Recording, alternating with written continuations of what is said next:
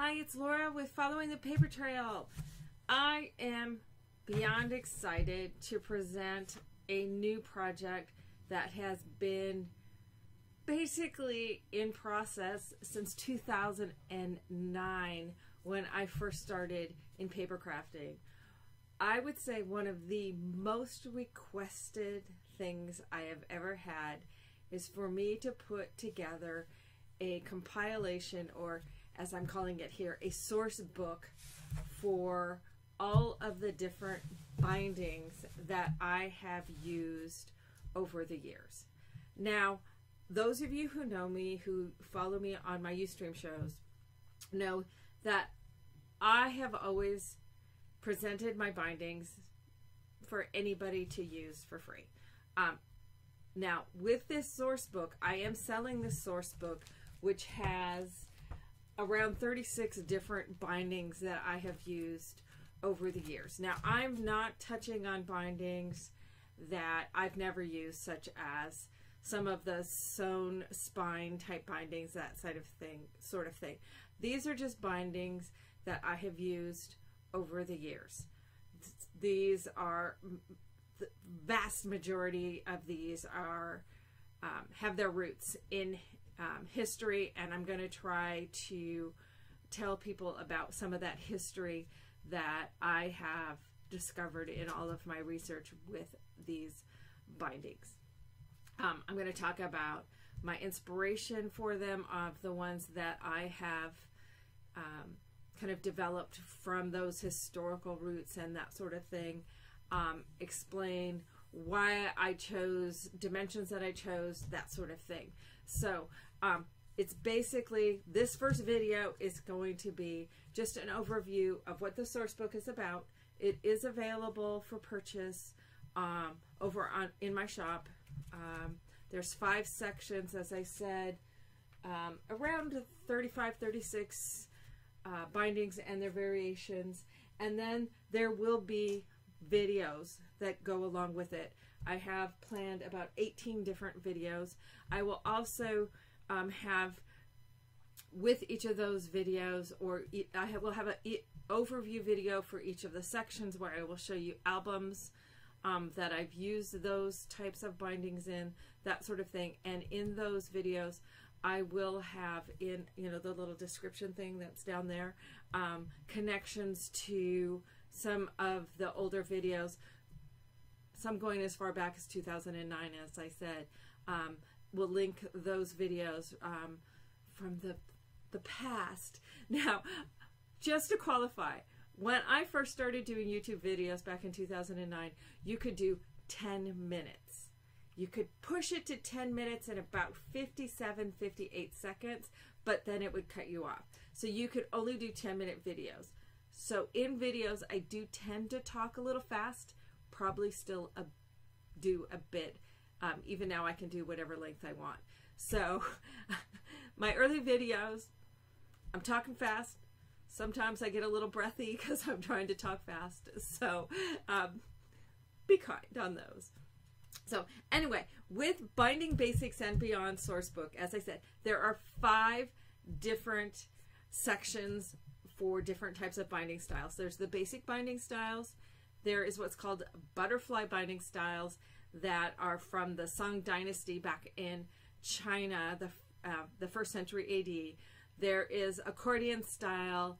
Um, there is stacked style and then individual unit bindings. So those are my five categories. Again, I will have around 18 videos, including this one, that give you an overview. With um, when you purchase the source book, you will be able to download all of these pages, which give you the written instructions. The videos will give you an overview of each of the different bindings, but this gives you a resource that you can then use when you are designing your own mini album, deciding to make a mini album. I want to switch the kind of binding I'm using, kind of my mini album. You can use this source book then to choose what's going to be the best binding for you to use. So in Binding Basics, I go over rings and ties, which is where we, many of us who have been doing this for a long time started. So I'll start out with that. we'll go into things like ribbon loop, um, purchased elements, um, beaded matchbook. Um, I'll show you some samples of that. Then we go into the butterfly bindings, which is what the butterfly bindings is when you put pages um, back to back.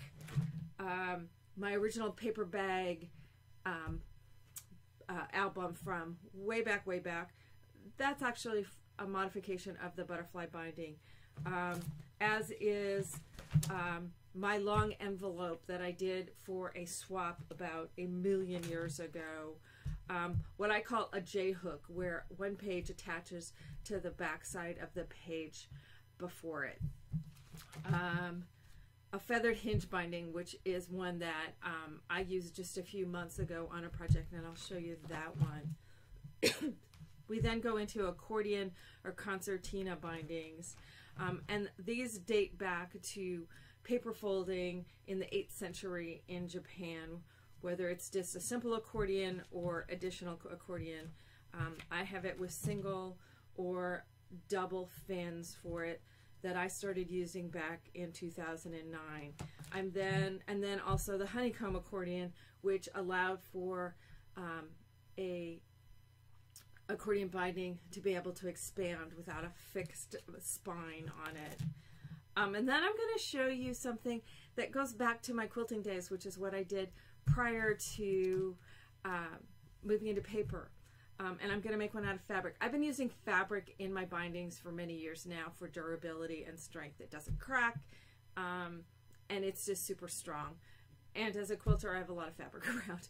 Um, with this, I'm going to be using freezer paper to show you how to do an accordion binding with freezer paper and fabric. The freezer paper doesn't stay, but it helps you to do a precisely folded binding with fabric. Um, and that, again, goes back to my quilting days. Um, then we have the stacked bindings, Stack the Deck, excuse me, which is a classic that I introduced back in 2011. Um, Stack the Deck Plus, which has uh, Stack the Deck with insertions. I also called it Stack the Deck 2, Stack the Deck with pockets. Um, but it's basically Stack the Deck plus insertions. Um, stacked Pages, which um, I used for One and Done back in what 2013, 2014, um, where I just took the Stack the Deck binding and expanded it out into pages. Um, I have stacked the Deck with fabric fins. Um, again, as I've been using fabric more and more in the bindings, I wanted to keep my classic Stack the Deck, but added some fabric fins. I didn't want it to be entirely fabric. Um, out of the box binding, a way for um, and it's best to show this when I show the sample when I do the overview. It's where um, it's a stacked binding where the pages pull out of a box, but they go down in flush inside of a box. Um, cascading pockets to where you can take a stack the deck and make fins out of it so you can have cascading pockets. This is actually over on Snap Guide. Um, and then cascading pages where um, stack strips allow those pages to cascade. And then the last section is the individual binding units where each piece of the binding is a separate unit. So you can do as many or as few as you want. You can do an even number, an odd number. Um, this is the binding style that I use the most right now. It's very clean. I, have incorporated fabric into it. Um, and then I can just make it whatever number of pages I want it to be. So there's the T-square binding, and then the one that I use the most is the T-square with fabric. Um, precursor to doing stack the deck and such was um, using channels and hinges. I called um, the, the single hinge, I called it a perfect hinge. Um, and then there was also the, the channels, which is essentially what stack the deck is. It's just a series of channels that each get a little bit wider. Um, I have a fabric hinge, so it's the perfect hinge made out of fabric. Um, this is my latest one. This is one the one I've been doing on YouTube, uh, not on YouTube. I mean on UStream the past week. Um, this is a box um, a box spine binding that comes out way cool. I'm super super excited and super stoked to how that one comes out. Um, and then another one that I've just started using, and I think it's going to become my new favorite, and actually start using more than I I use T Square with fabric right now. And T Square with fabric I've been using almost exclusively for over two years now. So, and this is the bifold hinge binding. So I'm excited to show you that one as well. As I said, there will be 18 videos that will help you to determine which is the best binding for you and your project. So this is the binding basics and beyond, and you can catch my website address down in uh, the information at the bottom of this video. So sit back, check out some of the other videos. Um, if you're watching this in late August of 2017, I'm still working on getting those videos. If you're watching it later after that, sit back, enjoy. There's 18 videos for you to watch here over on YouTube. Thanks a